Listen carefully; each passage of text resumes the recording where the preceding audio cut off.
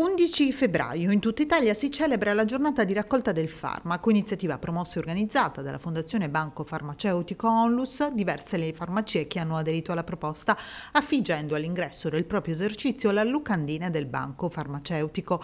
I cittadini che vi si recheranno potranno acquistare un farmaco senza obbligo di ricetta medica da destinare alle persone bisognose, cittadini italiani ma anche stranieri, assistiti da uno degli enti di beneficenza convenzionati con il banco farmaceutico.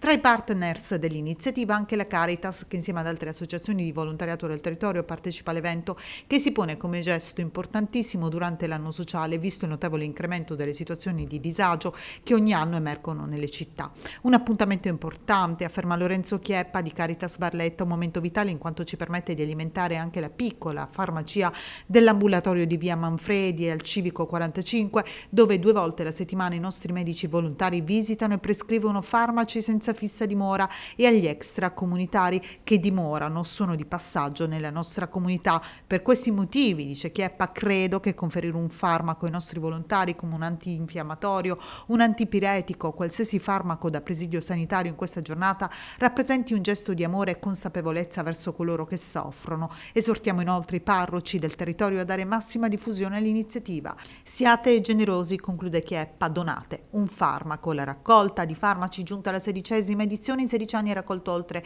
4 milioni e 100 mila farmaci per un controvalore commerciale di circa 24 milioni di euro. Obiettivo di questa edizione è superare i 353.806 farmaci raccolti lo scorso anno, di cui hanno beneficiato oltre 400.000 persone.